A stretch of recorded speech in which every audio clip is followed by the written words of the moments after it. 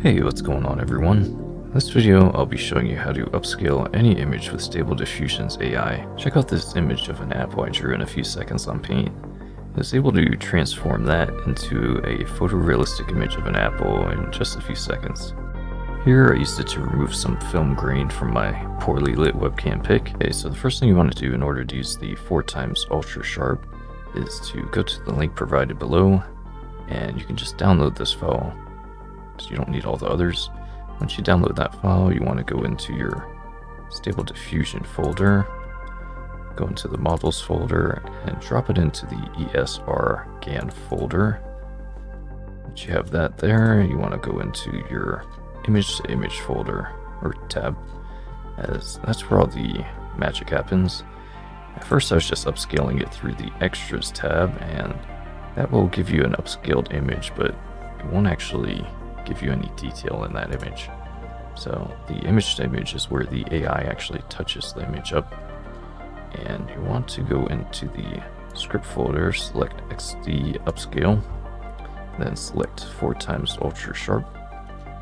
Just leave this as just resize. You can play around with the sampling methods as that will change the image a little bit. But I'm just going to leave basically everything the same here. This is the main thing that you want to play around with, which is the denoising strength. At first, I was just leaving that as default, and I really couldn't figure out what was going on with the image, as it was just going crazy with it. You can put something up here like high detail, as that will influence the image, and you can use the seed as well on the original image that you might have gotten a prompt from, but I don't have that. I can get it, but I'm just going to leave that as default. Now, let's just generate an image leaving it as the default denoising strength at 0.75, which is really high. It's going to create something pretty crazy that looks nothing like that image. And I'm going to do a few different samples here to show you Yeah, exactly. That's really what I couldn't figure out with the upscaling. Now, to get an accurate image, you'd want to use something, a truly accurate image if you just want it to be touched up, is something like 0 0.05, 0 0.04 to 0 0.06, and that will keep the image as close as possible to the original. But let's just set it at 3 to let the AI do a little bit of work on it as it is a kind of undetailed image. I don't think I did enough sampling steps on it. Came out a little blurry. Okay, that took away a lot of the different color on her face. So I would say that denoising strength is a little too high on that, unless that's what you're going for. Let's just bring it down to 0.2. And that left a lot of the original detail on her face. Now, that's pretty good, but it kind of added some extra stuff that's not quite there. But let's just use that as a demo because I'm going to show you why this is a little bit different. Let's send that to extras. And this is where you're going to upscale it twice again to bring it to four times, which is a little confusing.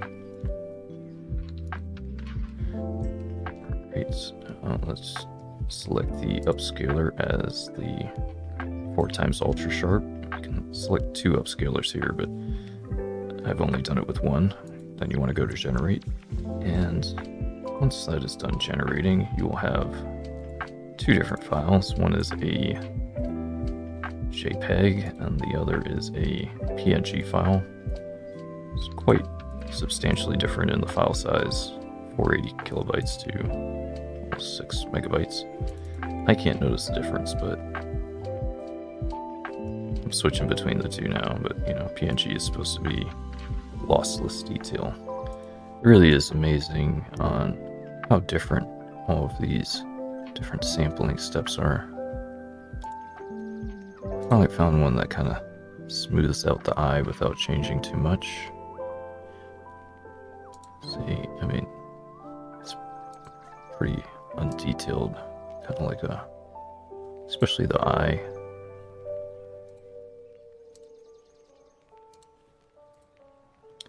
Some are definitely better than others.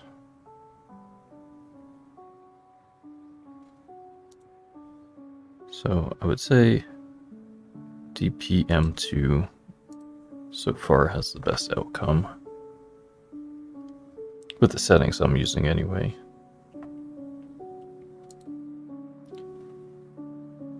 The eyes look a lot, a lot better for sure. I mean, this is the default.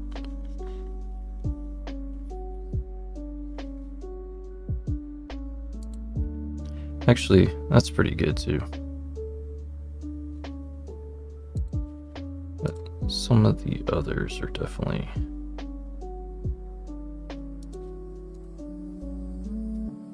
a lot different. Even though it's giving her brown eyes, and she's kind of got green eyes. But that's just a mess. You might be able to change that with maybe the sampling steps or CFG scale will change that. Let's see. Nope.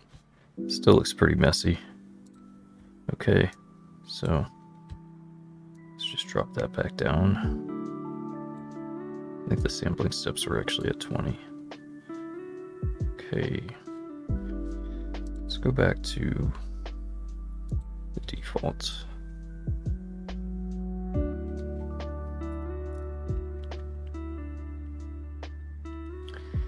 As you can see, it just smoothed everything out. The lighting. If you wanted more of that shine, you could just drop the denoising strength.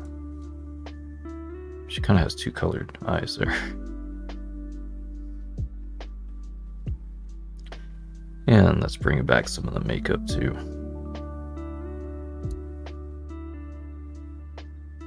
Because at around 0.2, starts to remove a lot of her eyeshadow. Change it. Gives her blue eyelashes now. So, looks pretty nice though.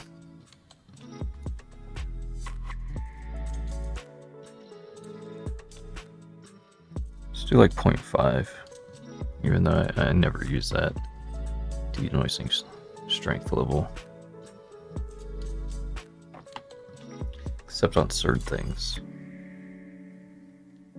Just because it just changes it a little too much, unless that's what you're trying to do. Especially if you're using it to touch up a man, as it will tend to make you look like a woman. At anything like above one, it seems to do that at point one, I mean. So let's try to keep it somewhere or around the original, which is usually around like 0.2 or below. Looks pretty good. Except I don't really like that stuff on her face, the other stuff, so let's just try to get that removed. I just didn't do enough sampling steps on the original image, I think.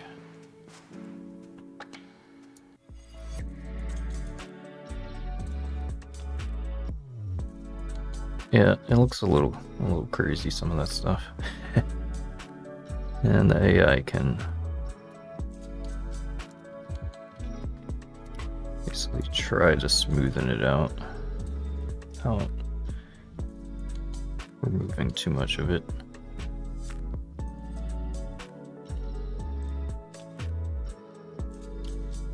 Think I like the other sampling step better.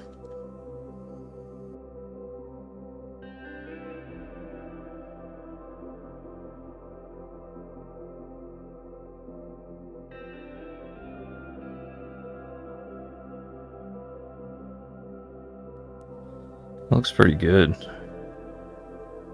Let's say it's probably the most polished version. Keeping close to the original, let's just drop it down 0.01 degree.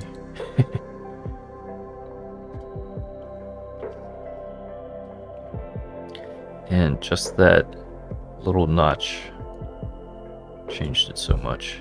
It added, well, I mean, that's kind of closer to what she's got going on there, but just looks kind of strange.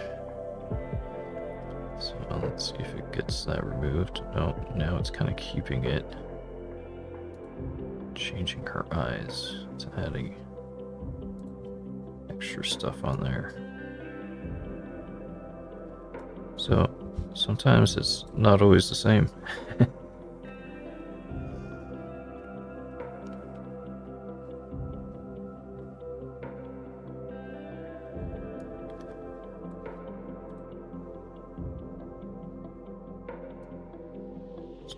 CFG scale a little bit. Oh, I think it's because I'm using a different sampling step than I was using before.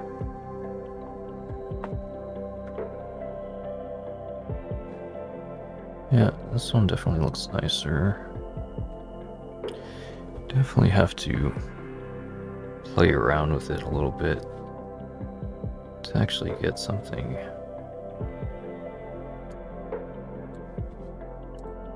you think looks good enough.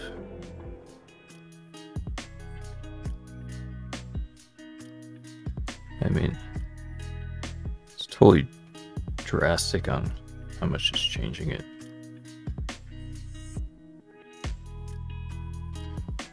But regardless, they're all better than the original.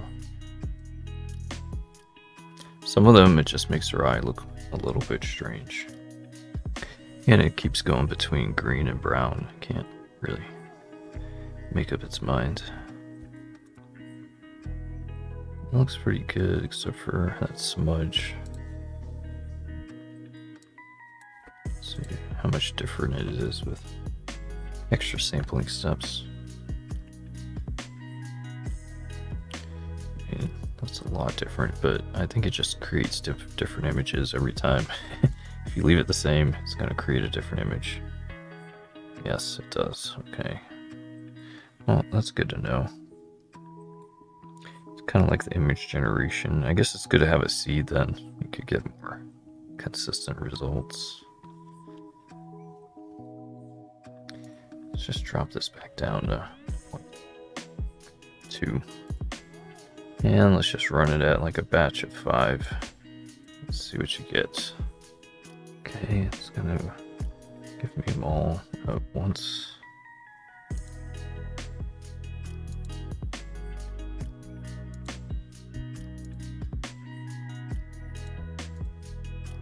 Okay, well that's good to know. I wasn't even aware that it would generate totally different images on each generation. I would say this one's the best. So.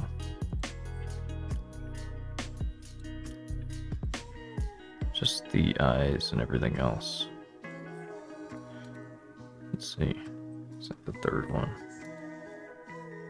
Oh, I don't know. Up close. Yeah, her eye kind of looks like jacked up, but the detail looks good. The eyes just look a little bit better on this one, probably.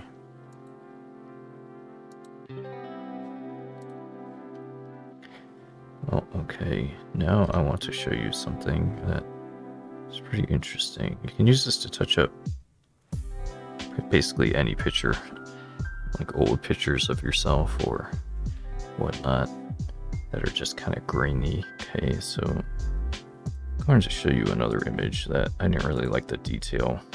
And let's do the same thing and show you just how totally different I can make her face.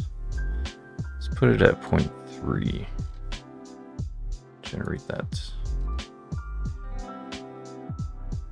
And the higher the denoising strength, the more touch-ups it will do on the face. Or whatever detail. It actually made her look like way more Asian. so let's bring that down to 0.2. Let's say that looks closer to the original. Let's just like let it go crazy. Let's put it at like a 0.5. Let's see what the AI will generate. yep, that is totally different. Just looking more at the viewer and this is turned into a flower. That's a picture of an apple I just drew. like two seconds. Just to show you what this program can do. Pretty interesting. This, something that's this low detail and you want a lot of detail in, that's when you'd want to use a high denoising strength. Looks pretty good, except the stem is water. For some reason it keeps wanting to put a hole in my apple, but I would say that's pretty similar to my apple. The curvature just made it better without the water drops. That's kind of just added like shine to it. Pretty impressive though. And what you can do with like a, a five second sketch just to give it more direction if you want to have some kind of starting point and you don't want it to just generate an image of an apple and you, pretty good pretty close. And of course if you wanted it something closer to your apple without the water splashing just reduce the denoising strength. 0.4 is uh, yeah. What are you doing AI that's horrible horrible drawing. I mean like a five-year-old kid could do better than that.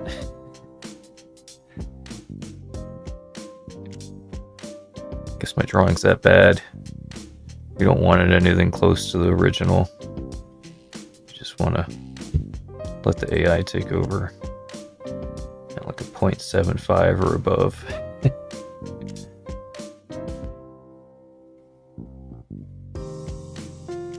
That's pretty close except for the water stem. Let's just give it the full denoising strength at one.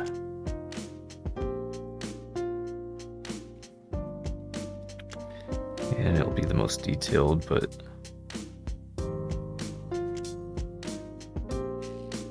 it's pretty good, but I don't know why it's giving a, a reflection. Just to get some kind of realistic look, I guess. Let's just put realistic.